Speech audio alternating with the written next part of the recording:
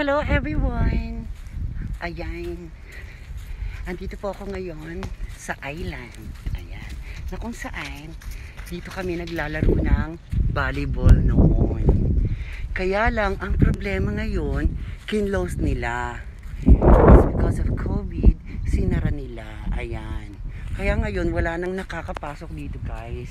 Hindi ka na pwede mag-swimming, hindi ka na pwede maglaro ng volleyball, wala nang pwede. That's because of that COVID. Oh my gosh. So masyado ako nasasaktan kasi iyan lang ang exercise ko to play volleyball guys. Diba? So apakalungkot po everyone. Diyos ko ang daming ang daming nangyaring pinsala gawa ng COVID na yan.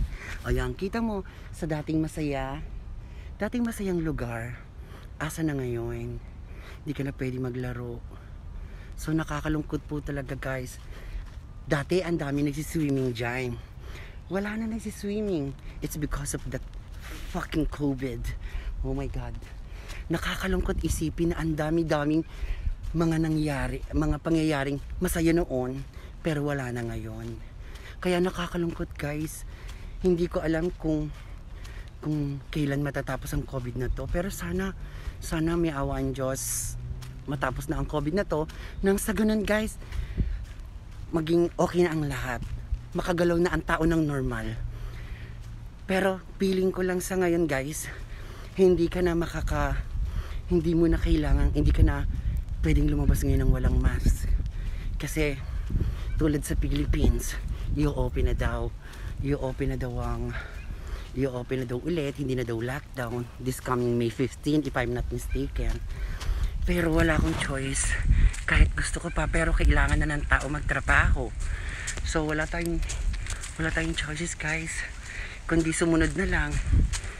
Pero sana bigyan ng magandang aksyon ng gobyerno ng Pilipinas kung paano kung paano hindi kakalat ang ang COVID na yan.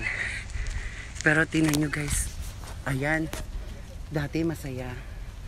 Masayang ano, masayang bawat pamilya nandiyan sa cottage na yan. Ngayon ang cottage is closed.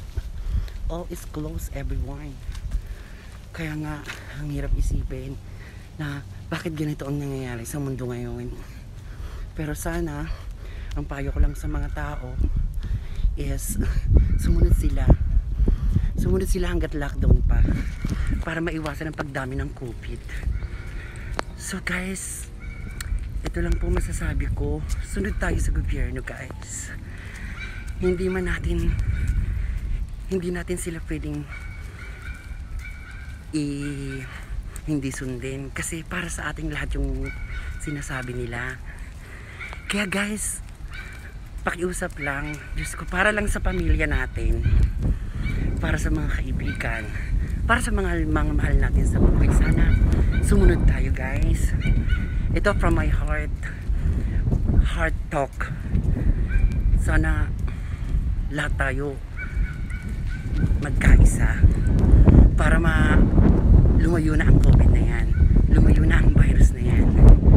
Kasi apakahirap isipin guys na ang daming namamatay.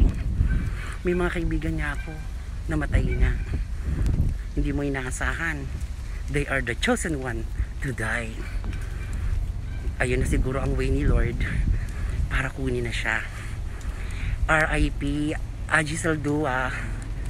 Ayan. Diyos ko.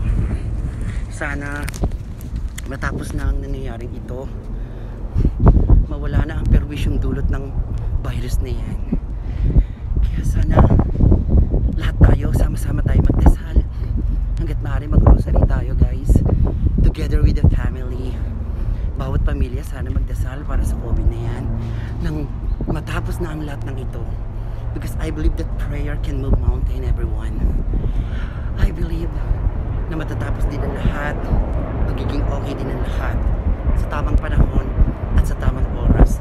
I love you everyone and God bless. Stay safe. Okay?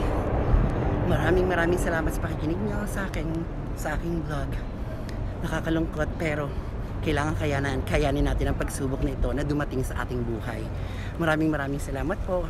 Don't forget, Gemma Pinka at your YouTube kung tutuusin guys, nakakatakot talagang isipin yung mga nangyayari ngayon.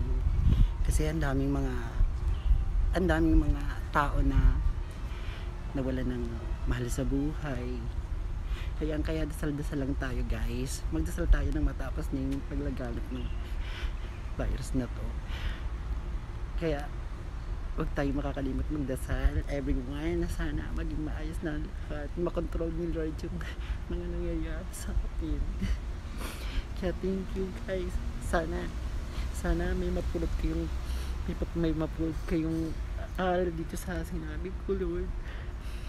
Dito sa vlog kong to.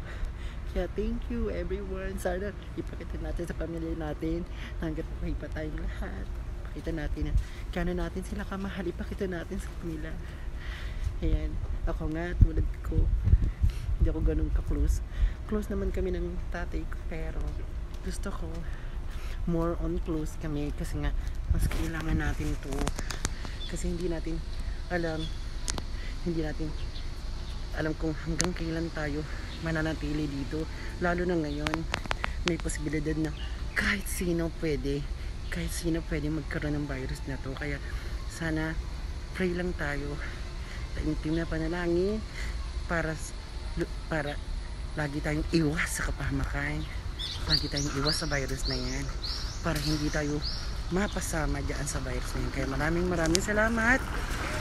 God bless us all everyone Okay, I love you. Bye bye. Bye.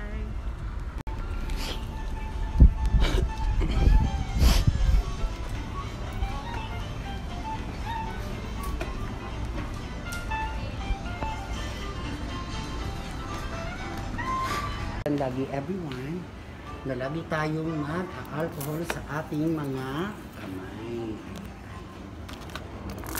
Okay? Basta lagi nating, laging malinis ang ating mga kamay nang sa ganoon hindi papunta ang virus. Okay? Salamat!